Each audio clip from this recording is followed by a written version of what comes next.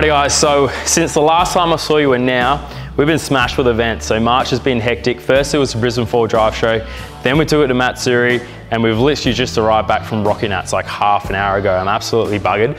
But we're just got to give you an update on the car. So we obviously didn't get quite get it finished um, for the Brizzy show. It wasn't running, wasn't moving. Um, we pushed as hard as we could, but just so much to do. Obviously that last 10% of a build is always the hardest, but we got it there.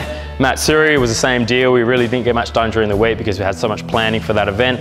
We've got a little bit more work done to Rocky Nats. Um, I'm going to take you through a bit of what's been going on with the motor. Um, I have to actually do it again because it's still not fixed, but we'll run you through that. Um, we did get it moving, so we got the drive shaft in, it does move, but we had dramas with the brake booster. Literally the morning of the event going to Rocky Nats, I had a mobile guy here from Enzed doing hydraulic fittings to try and get that booster working but it wouldn't flow fluid. So we had brakes, but they're only mechanical brakes, and it ran okay. And then the last day of Rocky Nats, we couldn't get it started. Um, it's either low on fuel and not picking it up, um, or the battery was just too dead because we don't have the alternator hooked up. So every time we ran it and started it, it just flattened that battery more and more and it just didn't have enough to fire. So we've got it back here and I'm gonna go through pretty much what we need to do to fix this thing do some work on it, and then we're gonna get on to what this, uh, the title of this video is about, run through some of that, and then uh, pretty much show you what's coming next with this car. So let's get into it. All right, so I'm gonna start with pulling this front off. Um, so the three major things that everyone probably heard about at the shows was it moving, stopping, and running properly. So we got it moving, we're at a drive shaft. We haven't got it stopping yet, so this is that hydraulic booster we were talking about. The brakes are in, the brakes are bled, they're fine. It's just this booster. Um, we couldn't use a vacuum booster, we didn't have the room there with those headers, and being supercharged and with the turbos, you're not always getting vacuum anyway, so I went with a hydraulic option. That should be fixed soon, we're just waiting on uh, an extra hose to hopefully fix that. The last drama, this is the third time lucky, is the intake manifold. So I'm basically gonna have to rip off all the top, the supercharger, the manifold off, and we're still having dramas with sealing that gasket. So I'll get it all apart now and then run you through what we've done and what my last port of call is to get this thing fixed so it'll actually run properly because before it wouldn't even idle. It sucked that much air um, through a vacuum leak that it idled at like three, four grand. Now it's idling, which is good, but it's still not holding water. So let's get it apart and have a look.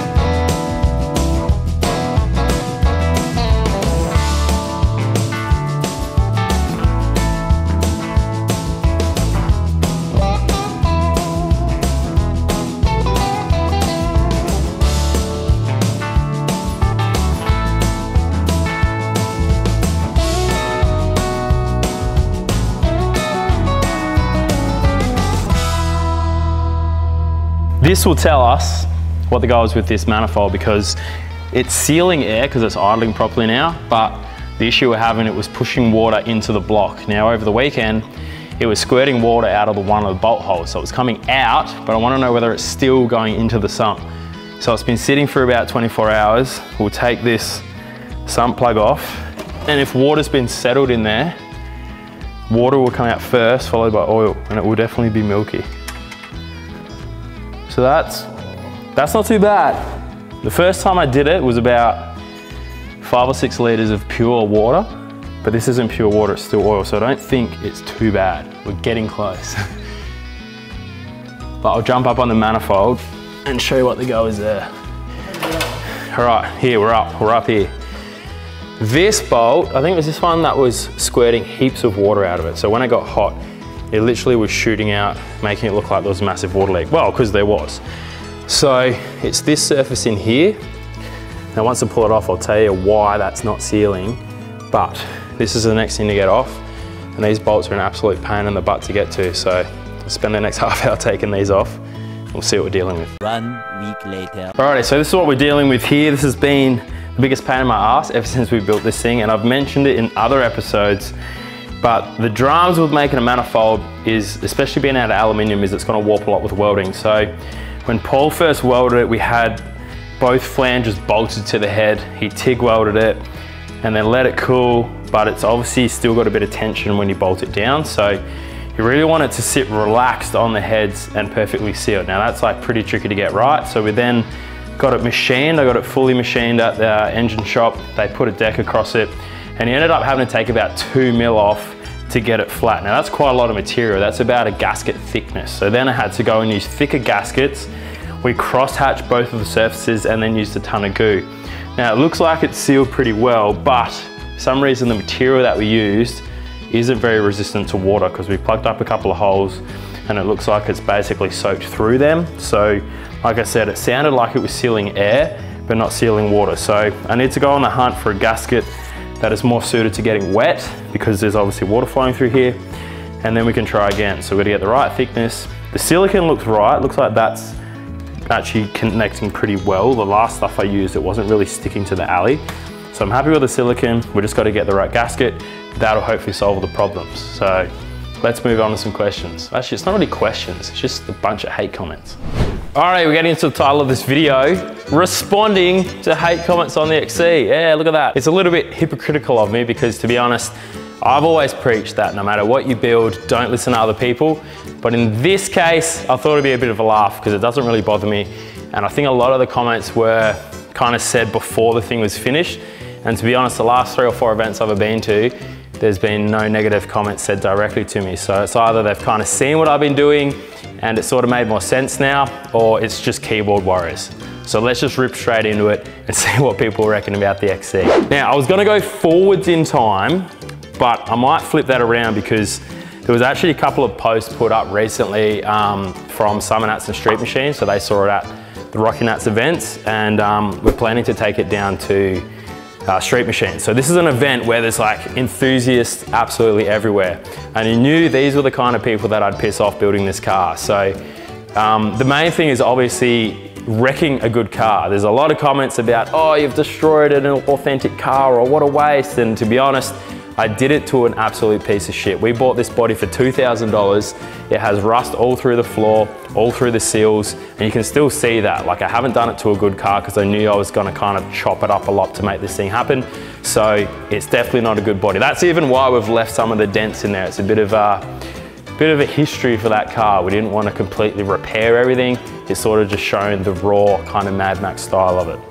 Let's rip into some of these. So this is from Burnout Masters. So Burnout Masters put a post up. I don't even know if I'm gonna hide the people's names on this or not, but anyway, some guy said, walk directly past it. Only cool feature is the twin turbos. My honest, humble review is pointless build. Ship the thing to America, it'll fit in over there. Dodge your roll cage too. So this is probably a very common theme. It is a very pointless build, but it's one of those things that had no purpose and I still don't know what it's for, but it was kind of something I had in my head and I wanted to sort of see what it would look like in real life. It's really just a piece of art. Um, it's something to take to shows and events. People like, oh, it's not gonna work off-road or it's not gonna go fast, it won't do burnouts, this and that. And it wasn't for any of that. I think the main thing after finishing this build, it was more about the experience and learning things along the way. A lot of people out there can relate to the fact that it's more about building the car than the end result. So keep that in mind with this whole thing because I learned a lot of new skills. There was a lot of TIG welding, even just like honing the skills on the MIG welding. We bought a plasma cutter for this build, so that was a whole new thing to do. Tube bender, I'd used none of this before. So end of the day, even if the car isn't everyone's cup of tea, it helped me learn a lot more skills about fabricating because I haven't really got any background in that. It's all sort of self-taught. Um, this one was a, actually this one was too good to pass up. So I'm gonna go through the whole conversation. So um, this guy said, don't just take a look close at it. Couldn't believe the heavily rusted steel that was used in the chassis. I had a look at the Brizzy show, understand it's home built, but come on, new steel wouldn't have broken the bank. So this is pretty funny because there's a couple of guys in the comments that sort of went back and forwards with this. I didn't even have to say anything. Um, some guy was like, watch YouTube channel, it's all new steel that he used in the build.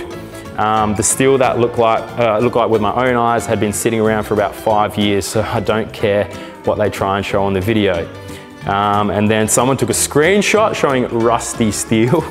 Um, and he said, uh, Brent, this was clearly after it had been wire wheeled. Um, I work with steel every day. It's literally my job. Oh, so we've got a professional on the case. This is great. I know rusted steel when I see it. I really don't understand why you're arguing over someone's rusted steel work when I've seen it in real life and provided evidence to contradict your original comment. People get so butthurt. This is quite fascinating. You haven't proven anything except that you're arguing about something that is irrelevant to the fact that they built it and you didn't. Yeah, true facts.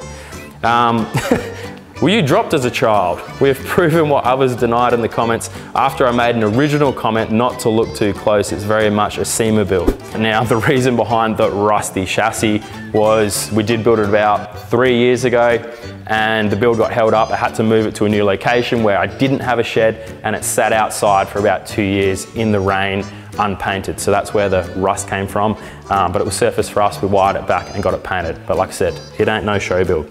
All right, we're gonna go back into some that I say. This is quite funny that I've actually saved some hate comments. All right, this is one that uh, really tickled everyone for a bit. Um, obviously, we'll talk about Bluetooth drive shafts. So it had no drive shafts and we couldn't, actually the Farrows Customs who built the shaft actually got it finished the day or the morning of bumping of the Brizzy show. So we just missed out getting it in the car, but the rear shaft was built um, and we were driving the thing around at Rocky Nats. Front shafts, it's never gonna work because of just the hectic angle that it's on. So we're either thinking of doing like a little chain drive or whatever, but it honestly doesn't need it because the people that do think I'm out here to rock roll this thing have rocks in their head because it's not gonna happen because the cam and the blower and the way that that motor will hunt forward, you won't be able to drive it in low range because it would be just impossible to keep control of. So no, it hasn't been built as a rock crawler, so you can get that out of your head. This is, a, uh, someone put up a lovely story with some ticks and crosses. Apparently I got an A for very stupid high center of gravity. Yep, I got it high. So this is, I, I think the thing is people are so stuck in the ways of building a car for the street, for off-roading, for a purpose. When you try and do something different, it just, their mind can't comprehend. But yes, it's got a high center of gravity. I didn't build it to be stable. Uh, lowers on top of the axle, same deal. We had our lower arms below and they were like on a stupid angle, so I raised them up so it kind of made sense, looked right.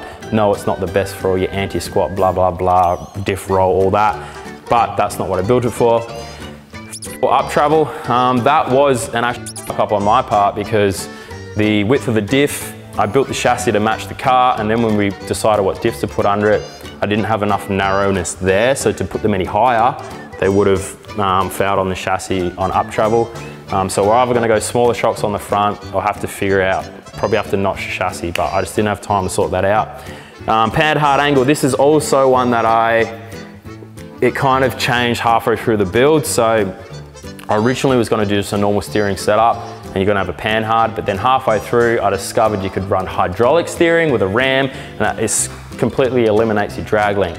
And now if I knew that at the start, we would have just four linked the whole front end and got rid of that panhard. But again, that was already kind of built into the project and then the steering was done afterwards. So that's why it's like that. Um, and then the last one, he says 12 year olds love that shit. That's sick. That's why I put eyeballs on the thing. So the thing with this car, it's meant to be for everyone.